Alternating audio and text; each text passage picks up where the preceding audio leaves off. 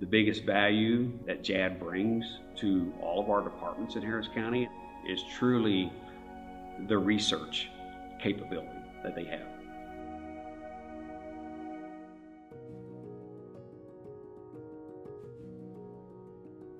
My name is Mike Lee. I'm the Assistant Chief over Law Enforcement for the Harris County Sheriff's Office.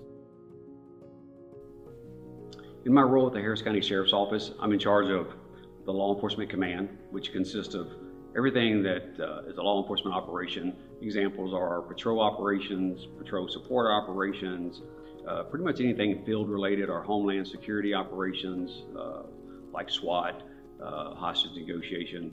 All of our training for our agency, I have that uh, also in the Law Enforcement Command.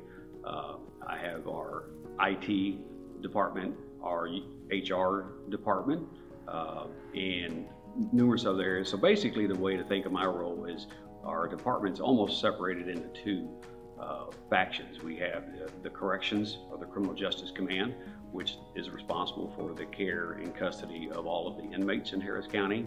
And so we have a chief over that uh, side of the department. And so I'm over everything else that's not corrections related.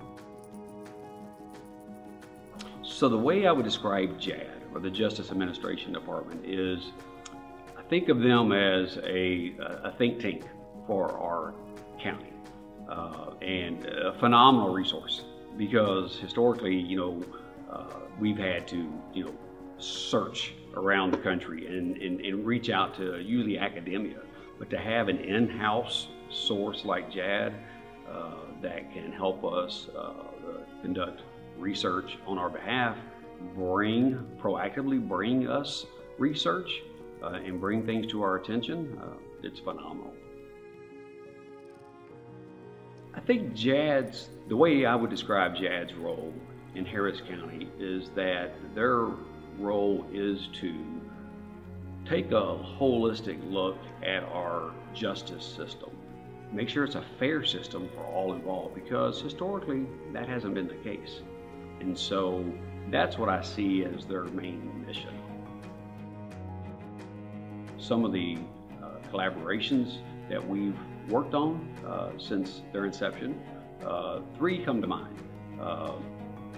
They've really helped us take a look at our traffic stop data and to take a look at any possibility that there may be some disparity in our traffic stop data, uh, especially with our minority community, uh, looking for things like unintentional bias that may be occurring. And so we really appreciated them helping us take a deep dive at that. Our policies are, uh, so ones that stand out are like our use of force policy. Uh, work very closely with JAD to make sure that as an agency, uh, we want to be a best practice agency. So they helped us take a look nationwide at model policies and uh, make sure our use of force policy is uh, where it needs to be. The uh, third area that they really uh, collaborated with us on is taking a look at our training. Uh, so it goes hand in hand with like our use of force. Uh, the policy is one thing, but what type of training are you doing?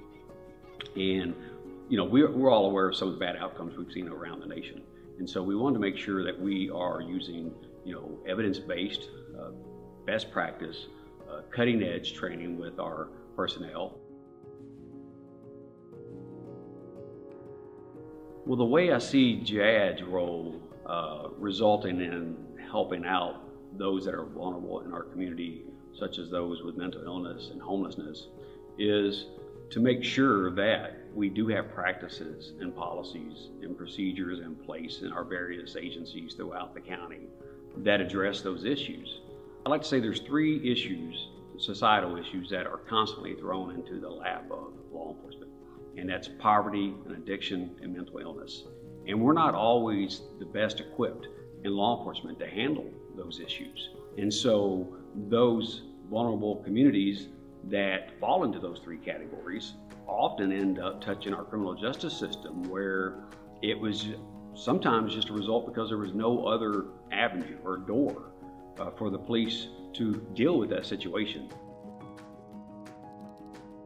The Sheriff's Office has been working with JAD on their model uh, U-Visa policy for Harris County.